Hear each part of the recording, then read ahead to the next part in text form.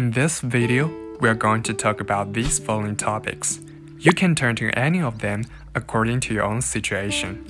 Part 1 The issue we meet about the dynamic disk. Part 2 The difference between dynamic disk and basic disk. Part 3 How to convert dynamic disk to basic disk. I have a USB hard drive which was made into dynamic disk in XP can be read by XP system, but it is invalid in Windows 7 and cannot be read. I tried to convert it back to basic disk in Windows 7 to solve this problem, but only find that the option of convert to dynamic disk grayed out. Is there a way to convert disk to basic? Dynamic disk is not widely used among the common users because of common users are not familiar with its benefits. However, compared with basic disk, dynamic disk is much powerful than basic disk on storing and protecting data. It provides such as the features to create spanned, striped, mirrored, or RAID volumes.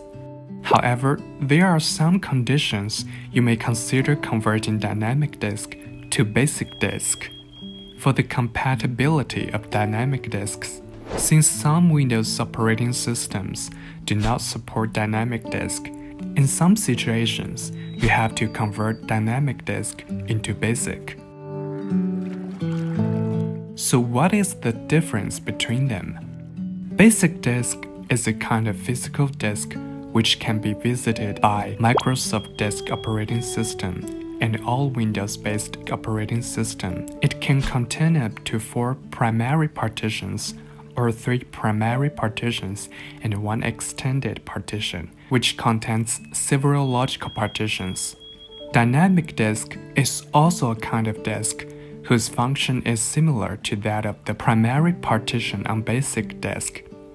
However, it can split or share data between or among disks. For example, a dynamic disk actually can consist of storage space which is separated on two single disks. Besides, dynamic disk can copy data between or among disks in case of certain disk damage. This function is more disks, but is more reliable. Sometimes the dynamic disk users need to convert dynamic disk to basic.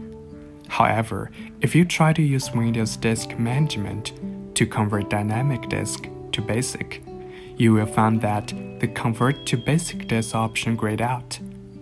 Disk management can only convert an empty dynamic disk to simple disk. Thus, you cannot convert the dynamic disk to basic here unless you delete the volumes on the dynamic. Well, is there any way for converting dynamic disk to basic disk without losing data? Fortunately, there is a way for you to convert dynamic disk to basic quickly and safely. That is using a third-party manager tool.